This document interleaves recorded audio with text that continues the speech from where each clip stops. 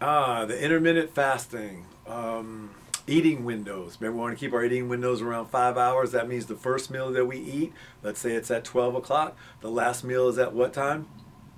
Five o'clock, right? So that's intermittent. That means we're in a fasted state for 19 hours. We're doing the autophagy and the apoptosis, all the great things. Of course, we're losing weight. And equally important, we are getting out the sugar that we stored in our body cells, in our liver. Remember, we can't exercise a fatty liver. There's no exercise for a fat liver. We got to go ahead and get that sugar out by not putting any more in because we're on an insulin thin diet, right? Which doesn't put any more sugar into our bodies. So we got to get what's in there out. So how do we do that? Intermittent fasting. It's kind of like if we had a refrigerator full of food, right? And a freezer full of food. We're not going to go to the freezer first.